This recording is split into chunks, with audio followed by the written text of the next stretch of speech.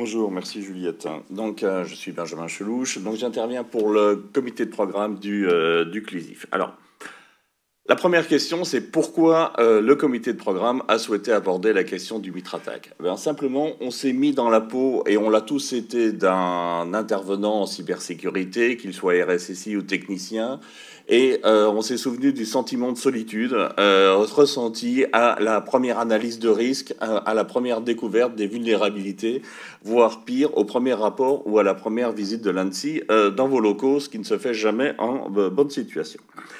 Par rapport à ça, une fois que le tour du marché a été fait, finalement, qu'est-ce qui reste? Qu'est-ce qui permet de comprendre? Qu'est-ce qui permet de rationaliser, euh, je dirais, cette approche de risque, cette compréhension du risque et finalement cet ensemble de menaces euh, qu'on arrive? Assez rapidement, et bien qu'il existe d'autres modèles, on en parlera euh, tout à l'heure, et les intervenants Maxime, Aurélien, Jean et Sébastien détailleront ces points-là, il y a d'autres modèles euh, ça. Mais le modèle du mitre, je dirais, c'est globalement imposé. Hein, euh, sur le marché et il s'impose et il est aussi un des éléments du, langage commun euh, qui est forcément nécessaire à avoir, je dirais, entre les produits, entre les utilisateurs, entre les éditeurs et les clients. Donc c'est pour ça qu'effectivement on a voulu euh, développer euh, et avoir effectivement une discussion, une présentation sur l'intérêt, le rôle, comment mieux utiliser le Mitrattack, comment je dirais, en tirer parti, et ce de la façon la plus opérationnelle euh, possible. Donc ce fameux mitre, qu'est-ce qu'il est? Donc on en parle beaucoup, on le connaît, beaucoup en parlent, beaucoup, euh, comment s'appelle, l'évoquent, mais dans le concret, c'est quoi? C'est un framework, donc terme barbarisme américain, hein, pour dire que c'est en fait un cadre de réflexion. C'est un cadre qui impose, qui s'est imposé au fil du temps comme étant, on va dire, un descriptif d'un état de l'art.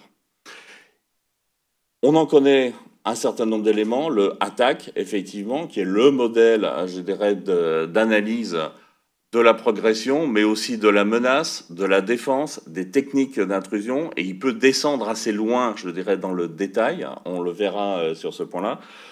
D'autres sont très connus parce qu'effectivement, euh, mis à toutes les sauces, ce sont les fameuses CVE, les, euh, les vulnérabilités. Les CWE un peu plus cachés bah, font le lien. Voilà, c'est tout ça l'ensemble du Mitre Attack. C'est tout un, tout un ensemble pratique, j'ose le terme, euh, d'éléments permettant de comprendre, de structurer, de rationaliser euh, l'analyse de risque. Et ce, je dirais, c'est le résultat d'un travail, effectivement, qui a lieu depuis 1958.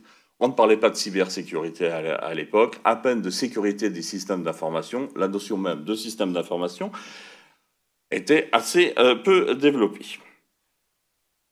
Donc, ce que je vous propose, et ce qui sera effectivement euh, pris par la suite, c'est Maxime qui, reprend, euh, qui prend la parole après moi, et ça, ça sera plus intéressant, c'est finalement comment utiliser ce Mitre Attack dans la vie, je dirais, la vie du RSSI de, tous les jours?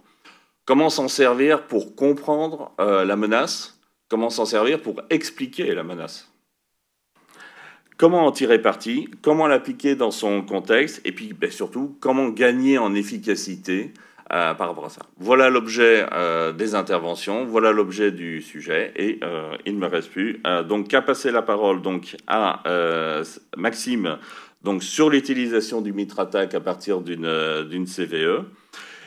Sébastien reprendra la suite et vous présentera effectivement l'application du Mitrattack dans un cadre un peu plus technique qui est celui effectivement du SOC et de la détection, euh, de la détection des attaques. Aurélien de ADP nous présentera l'application du Mitrattack dans un contexte effectivement d'une très grosse structure euh, à plusieurs niveaux de complexité, euh, donc à travers ADP. Et euh, Jean interviendra sur la grammaire du Mitrattack et cette fameuse notion de langage commun euh, qui est nécessaire pour que éditeurs et opérateurs, si j'ose dire, se comprennent et puissent échanger autour de ça. Maxime, à toi.